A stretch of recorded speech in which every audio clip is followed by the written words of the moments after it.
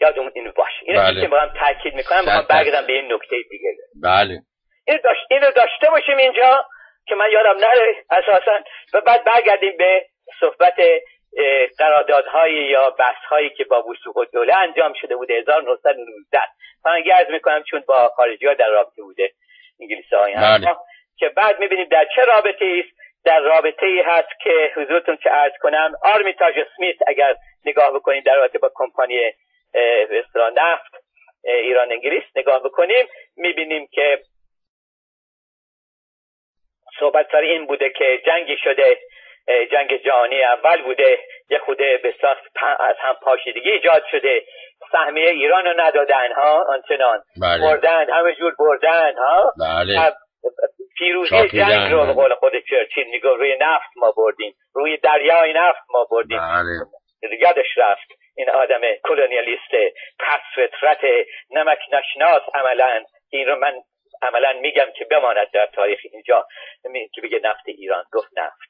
و به بله هر حال به این ترتیب می‌بینیم در 1919 و 1920 می‌بینیم این بحث ها بوده. همین جریان وسوق الدوله هم که برادر بزرگ قوام السلطنه به اصطلاح این فمس معروف ها کلمه انگلیسی این بله، به کار بله. براش. وابسته. آدم عجیب غریب. وابسته چند جهت. دارد.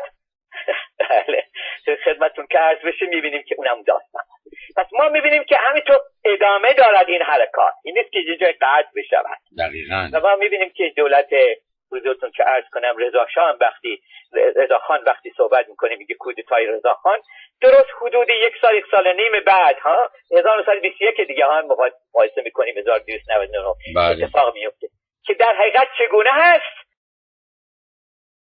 یعنی ما کت خدا را انتخاب کنیم بعد کت خدا را ببینیم بعد ده را بچاپیم. این برنامهش بوده. بله. خیلی خلاصه اگر بخوام نگاه هر چکیده. خیلی چکیده. حضورتون که عرض کنم و بعد هم اگر ما به مسئله شاه شدن این به اصطلاح داینستی به اصطلاح سلسله سازی و سلسله بازی انگلیسی نگاه کنیم. انگلیسی واقعا عملا نگاهش بکنیم. خب این چه, این چه ربطی به شاه؟ حالا من نمیگم شاه خوب یا بد ولی اساس اینه که آقا چرا یکیش در این دورانی که دیگه شاه پسند نیست؟ دوران شاه دورانی که مشروطه میاد دیگه شاه پسند نیست. عملاً، بله؟ عملا. شاه پسندی می‌کنه؟ این خیلی خودش سوال سوال برانگیز بسیار. بله. خب، پس اینم یاد بگیر یعنی یعنی داشته باشیم. نکته درست. رو به این از چارچوب داشته باشیم. درست. ما میگذره ما می‌خوام من می‌خوام برسم به قرارداد 1933 و نقش رضا شاه 1312 که هنوز رضا رضا شاه دیگه الان اون بله. اون زمان. یعنی در 1304 به تخت می نشیند ها اینا افرادی که به اصطلاح اون زمان دیدن به ما گفتن دیگه. به ما در یه حالتی هست که اینها رو می‌تونیم به نقل قول غیر مستقیم و یه حالت شواهدی که اینها هم بودن در اون جهان در اون زمان دیدیم. بله و بله. 1925 اگر حساب بکنیم. خدمتتون که عرض بشود پس در این زمان باز وضعیت اتفاق میفته که پول ایران رو به بهره مالکانه ایران رو نمیدن وضعیت طوری میشه که می‌رسه به سالهای بحران 1929 که تا سال 1939 هم طول می‌کشه. 1929 که بحران انجام میشه خب وقتی بحرانی انجام میشه یک به اصطلاح تشتتی در حرکت اقتصادی و به روابط و حمل و نقل و و غیره و غیره ایجاد میشه و این اینا هم از موقعیت استفاده کردند و پول ایران رو ندادن بله. ها؟ و ایران در حقیقت در حالتی بوده که میگه آها با همون چیزی که گفتی بده من بر اساس دارسی. یادمون اینم باشه. که گفته در اگر توی قرارداد دارسی نگاه بکنیم هنوزم هستش اینا همینجا هست می‌تونید پیداش کنیم نگاه بکنید 20 درصد به اصطلاح تمام دارایی های شرکت نفت ایران انگلیس که نه تنها در ایران اینجوری نوشته شده بوده در هر جای دیگه هم هست مال ایران بوده. 20 درصد اون 20 درصد سود اون از اون دارایی ها, ها که می اومده سود کلی سود کلی مجموعه شرکت. نه تنها در ایران. که می بلکه باید در افساندقات جهان که بعدا رفته بود در اکناف بله و اونجا سرمایه‌گذاری کرده بوده مال ایران هست. می باید بله. یعنی این که من می‌خوام این نکته رو فقط عنوان بکنم که اگر وقتی کسی که میره به اصطلاح این داد دارسی رو میندازه تو بخاری آتیش می‌زنه ها اینجوری که به گوش ما رسیده رضا شاه گویا این کار کرده. ها کرده. می‌خوام ببینیم که آیا این سواد داره که این کار کرده. یک. دوم شرف داره که این کار کرده.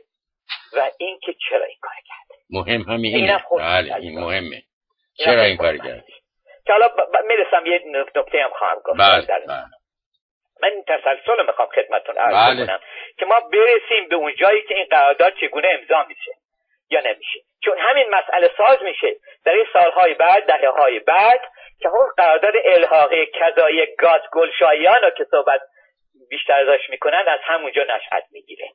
که بعدم مسئله ملی کردن نفت پیش اینی که می‌خوام عرض بکنم به این ترتیب هست که بر این اساس هست که با توجه به بحث های زیادی که میشه حتی وزیران به اصطلاح نسبتا حال اقتداری هم داشتن مثل داور و غیره تیمورتاش و غیره رضا شاه حتی تعجب می‌کنن که این قرارداد به اصطلاح دارسی چگونه باید کلم یکن بشه و یا باید بشه یا نشه ها این بحث بوده دیگه ها.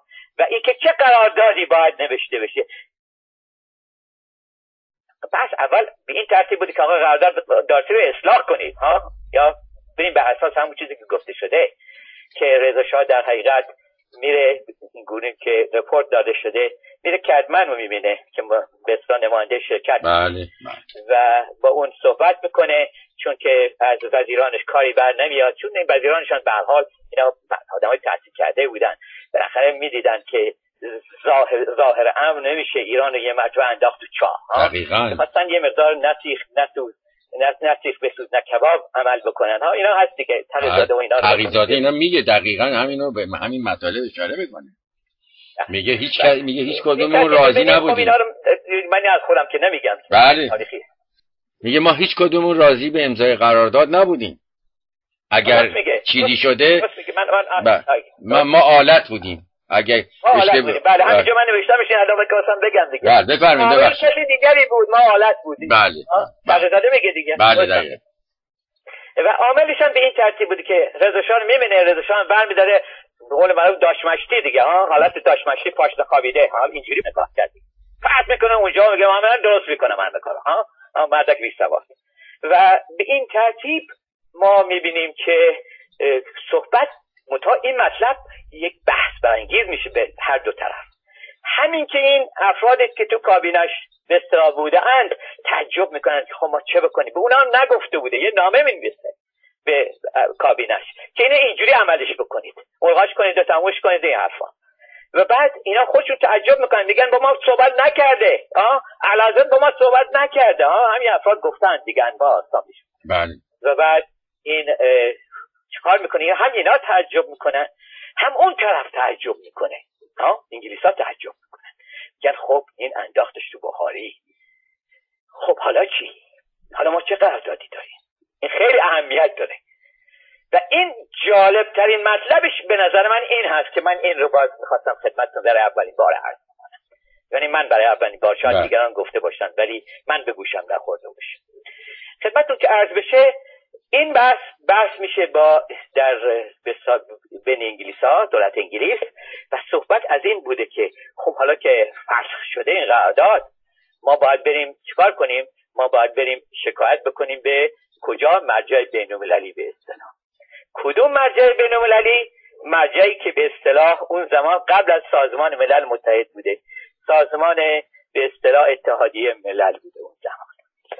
یعنی درست همون کاری رو که کردن در زمان مصدق که رفتند یک قراردادی رو که در حقیقت با یک شرکت شخصی بود به فرم میثاق بین المللی بین دو تا کشور به کار بردن ها؟ دروغ دروغ و دقلبازی ها؟ این کار در همون زمان هم با نشانده خودشان رضا شاه کردند داشتن در حقیقت این بحث بوده که بکنند. بله. منتها رضا شاه فردی مثل مصدق که نبود که ها. رضا شاه جبون رضا شاه بیخرد رضا شاه دست نشانده رضا شاه محصول کودتا چیکار کرد؟ گفت فشار آورد به تقیزاده و دیگران که امضاش کنید تقیزاده امضاش کرد. و بعد چیکار کردن؟ این قرارداد 1933 که با تاریخ خودمون میشه هزار خورشیدی 1312 رو امضا کرد. بله.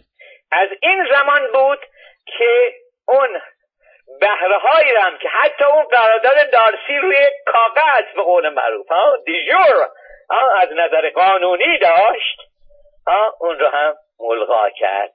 به این علت هست باز تکرار می‌کنم چون زمان به اصطلاح سالگشت مرگ مصدق هست و در حقیقت مرگی است که زندگی جاودانی بود داده ها؟ مصدق نمیره بله بله این رو تکرار بکنم. چون وقتی این کارا رو انجام میشه در این وضعیت ما می‌بینیم اتفاق افتاده این رو باید بازگو بکنیم از تاریخی برای نسل جوان. خب این چه بود؟ خوردگیری کرد مصدق همونطور که می‌دونید و شندگان گرامیتون خوب می‌دونن که خب این مصدق از قرارداد دارسی دفاع می‌کرد. بله. چارچوبی هم گفته بودن که حالا در کدوم چارچوب داری صحبت می‌کنید این بماند. اون میگه به خدا می‌داند. در هر چارچوبی هم صحبت کنید قرارداد دارسی من به عنوان یه نفس شناس عرض می‌کنم خدمت خیلی بهتر. ها؟ نفس شناس به ضمن تاریخ بین دان بله. و قوانین بین بله. ها؟ بهتر بود. دلایل بسیار زیادی بله بله. بله. پس این درست بوده. ولی خوردگیری بهش می‌کنن که در حقیقت این آدم قدیمیه به حساب هر چیزی که قدیمی و دموده شده به این حالت های ایجاد می‌کنن که گویی که او هم مثلا با انگلیس ها بوده هم حالتی می‌خوام بگن دیگه ها؟ برخی میگن نمیچسبه که ها؟ که نمیچسبه ما مصدق که ها؟ آدم عاقل می‌دونه به خدا معروف عاقلان دارن سعدی گفت دیگه بله. اون داستانی که می‌دونید بله. این کار می‌خوان بکنن. و این خودش خیلی و از این مطلب من می‌خوام یک نتیجه بگیرم در مورد این کودتا. بله. کودتای به اصطلاح 299 سوم که این کودتا و بعدش هم سلسله سازی و سلسله بازی تمام مشروطه رو مثل مثل کرد. جنبش مشروطه دیگه چیزی ازش باقی بله. یعنی بعدش هم که دیدیم با توجه به دوران سیاه وقتی میگن سیاه رضا شاهی و این باید به نظر من عرق شرم در جبین آنان بنشیند که در داخل کشور و در خارج کشور هنوز از رضا شاه به عنوان یه آدمی که به ترقی خواه بوده صحبت می‌کنن به خاطر که چادر به زور از سر زمان کشیده ها این خب نشون که هر کاری تو زور بکنی که درست نیست و این کار کرده یه چیزایی که علکی به قول معروف به قول اصلا مسائل وضعیتی وجود داره که رضا شاه رو در یک چارچوب خود ساخته شه ساخته فرموله کردن. و بعد گفتن اینش خوب بود اونش بد بود وجود نداره. این مقایر تحلیل علمی است. و این رو گفته باشن. و این هم گفته باشم که مقایسه بین رضا شاه و مصدق کرده باشن. که او چه کرد در مقابل اینکه انگلیس ها که حتی انگلیس که خودش این فرض رو به کار گمارده بودند. پایرون ساید و غیره گفتن که خب ما شکایت ممکنه بکنیم به به صلاح سازمان بین المللی و ببرن به همون کاری رو که به سر مصدق آوردن بیارن. ایشون تسلیم شد و به حضورتون که کنم. به نماینده خودش و تغییزاده گفت برو امضا کن. جاب این حالا در گفتگوی دیگه هم باز به این خواهیم پرداخت که اگر این عمدی بوده باشه چون حتما خود انگلیس هم نسخه از این قرارداد داشته اون شرکت. بعد به جهت اینکه خواستاشون رو می‌خواستن ببرن جلو و بهانه هم داشته باشن که قرارداد دارسی رو از بین ببرن می‌تونست همه اینام در تداوم هم با توجه به شرایط روز باشه. حتما اینطور می‌تونست باشه. بله. یکی از نکات رو که الان من یادم افتاد این است که شرکت نفت ایران انگلیس اون زمان اساسا چون قرارداد دارسی بر اساس منافع کلی شرکت در تمام جهان نوشته شده بوده. شرکت اصلا نادلگران که نبوده که هیچ دوست هم نداشته اساسا. بله. این قرارداد ادامه پیدا دقیقا دقیقا. دنبال... یکی. دوم این که کاری که کردن با امضای یعنی ملغا کردن اون قراردادی که نزدیک سی سال ازش گذشته بوده حدودا و بعد قراردادی رو امضا می‌کنن که 60 سال قرارداد بوده به اصطلاح بله. اگر ادامهش می‌تونیم می‌دادیم تا 1993 می‌رسید بله. بله. در نظر بگیرید چه وضعیتیه. یعنی اینا خیلی ساده هست. یعنی احتیاج نیست یه آدم رفته باشه از به اصطلاح وکلای حقوقدانان درجه که دنیا باشه. این یه فردی هم که سال اول دانشگاه رفته باشه سال اول شروع کرده باشه ها تو حقوق و علوم سیاسی عملا می‌داند که چه به سر ایران آمده. دقیقا. و در ضمن خود این باز تایید کننده اینه که رضا از کجا اومده؟ بله بله. باز, باز این رینفورس می‌کنه بله. این تایید می‌کنه. بله. این تکیه رو می‌ذاره. در حقیقت این است که به صورت ارگانیک واحد ارگانیک تحولی باید نگاه بکنیم. روابط دیالکتیکی رو ما فراموش نباید بکنیم. اینا رو جدا جدا دیدن پدیده ها رو نباید بهش اکتفا بکنیم و اینا رو بیاریم لانسه بکنیم بیاریم اینا رو پرزنته بکنیم نشان بدیم به اصطلاح به عنوان تحلیل درست بله. بله.